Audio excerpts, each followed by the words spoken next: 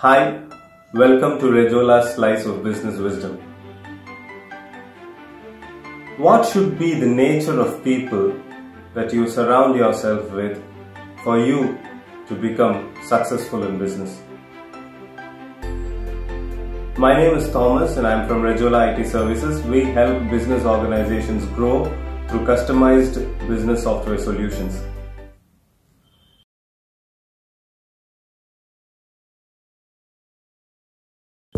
We all know that we are creatures of influence. We not only influence others, but we also get influenced by what others do around us. Do you know that we become someone who is a sum total of the people that we surround ourselves with? Our parents, our friends, our teachers, and whoever we surround ourselves with. Ultimately, we become someone, a part of all those people. Since we are a creature of influence, it is very important to surround ourselves with the right people. Let me tell you three things that you have to look for in people that you surround yourself with. The first one is positive attitude.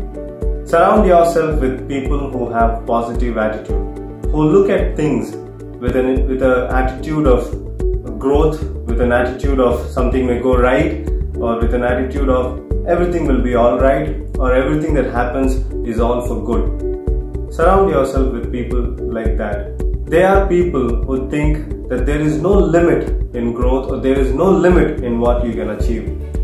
Now, that attitude is what will help you grow. Second, surround yourself with already successful people. It is good to have friends who are growing along with you. Of course, it is essential to, but it is extremely critical or essential to have people around you who are already successful. They have been through the same situation you are going through right now. When you surround yourself with people who have overcome the struggles that you're going through, that association can help you to have a similar character or behavior required or discipline required for you to grow and for you to overcome all the struggles that you're going through in your life.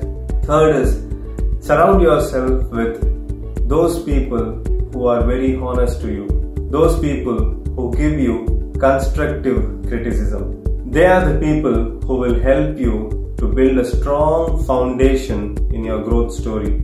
Though it is very important to have positive people always around and you know to have optimistic people always around, it is all also important to have people who give you constructive criticism. People who will look at your face and tell you the truth. In fact, I am associated with a group of friends of mine who are all well placed in uh, large corporates. And whenever I share any new idea with them or something that I'm doing for the first time, most of them give me say uh, tell me saying that you know it's amazing, it is good, you should do it. And all of them are positive, all of them are optimistic. But there is one friend of mine who is always telling me where I can improve. He always points out what is wrong in the thing that I've done. But believe me, those are the small corrections that I receive that helps me to go back and perfect at what I'm doing. So always con- surround yourself with constructive criticizing people. You can select whom you want to be with. Consciously select. Select the right people and ensure that you grow. Visit rejola.com today and ask for a free software consultation session for your organization. Thank you. Think profits. Think Rejola.